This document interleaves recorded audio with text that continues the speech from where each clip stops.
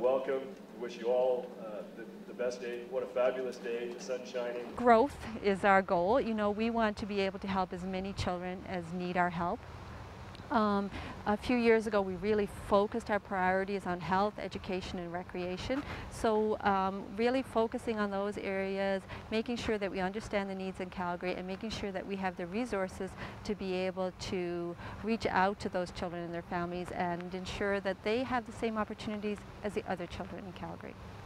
The Burns Memorial Fund is the gift of Senator Patrick Burns. The Burns Memorial Fund is, is critical. We're a small funder, and there's not many small funders out there like us that provide the programs that we provide. You, you look at our population and the population base, and we keep growing as a, as a city, and, and uh, we, we grow through all demographics. Um, there's a, a, lot of, of uh, uh, corporate headquarters in Calgary, a lot of uh, a lot of people that uh, that can provide that support and, and the help to uh, to kids.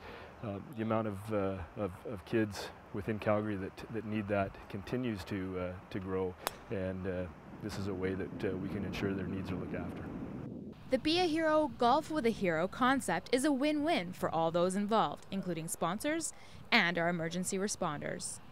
You look at the, the amount of sponsorship and, and uh, the people that come out to support this, and it's, it's people from all walks of life through, uh, through our community that come out uh, that recognize uh, it's a worthwhile cause, it's a great event, and what a beautiful way to, uh, to celebrate that than, uh, than host a, a golf tournament, be part of a golf tournament, and supporting, supporting our children.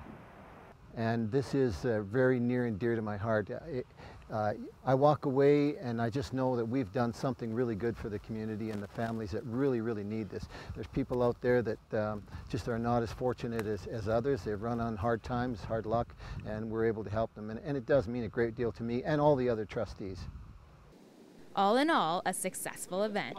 In Canmore for Shaw TV, I'm Zoe Sangonetti.